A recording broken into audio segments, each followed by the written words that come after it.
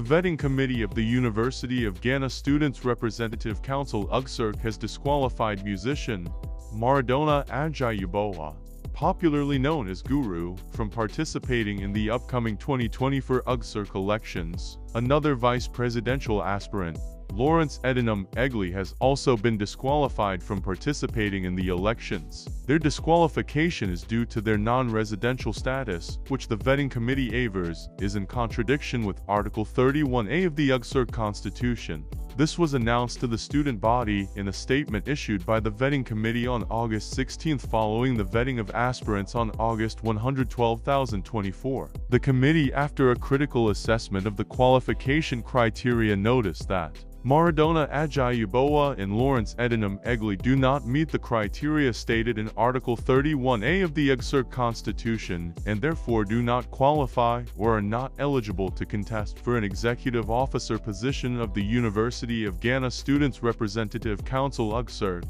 Excerpts of the statement said. The statement further clarifies that Guru and Edinam Egli were disqualified because they could not meet the requirement of Article 31A of the UG SRC Constitution which stipulates that a student shall not be qualified for election to any executive office unless he is qualified to contest elections under his hall's constitution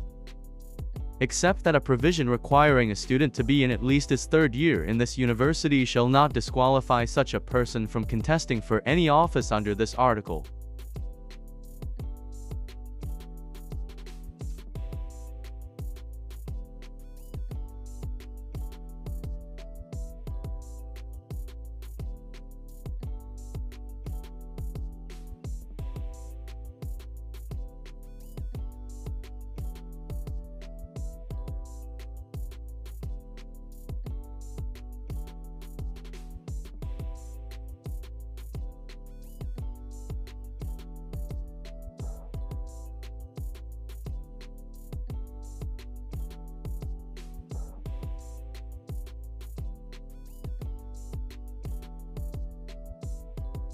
You